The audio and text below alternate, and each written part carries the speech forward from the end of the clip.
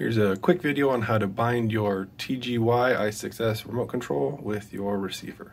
So we'll need the remote control, your receiver, your bind plug, and a 5 volt power supply.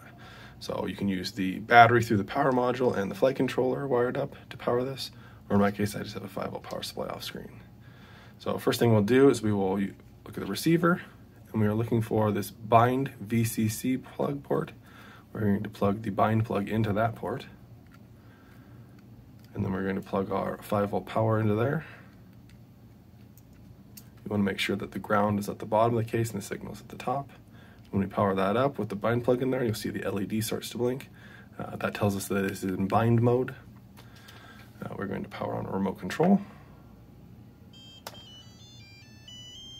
So with the remote control on, we will press our menu button, system, and then RX bind.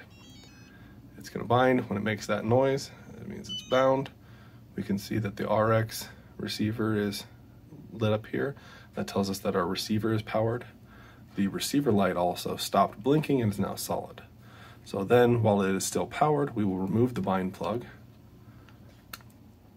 That locks this in, saying it's bound to this, and then we're going to remove power on the receiver, and then we will shut off our remote. And then to check and make sure that it's all powered, we're going to power the receiver and the remote back up.